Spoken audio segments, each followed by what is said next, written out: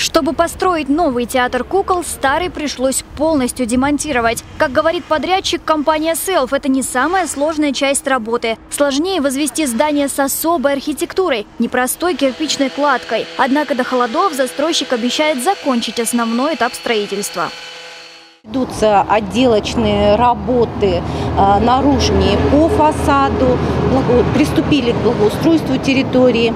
Также э, монтаж э, внутренних инженерных сетей заканчивается. Черновая отделка тоже в стадии завершения.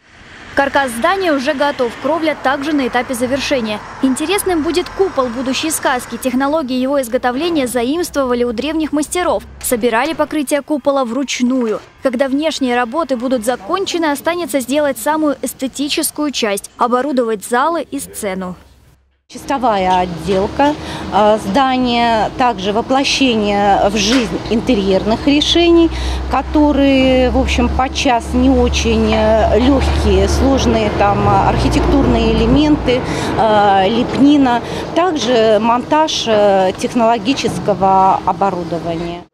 Когда стройка завершится, в городе появится здание, которое будет переливаться яркими красками в свете фонарей. Такова задумка архитектора. А для кукол и актеров это не просто красивое здание, а долгожданный, сказочный дом. Полина Жданова, Андрей Печоркин. День с толком.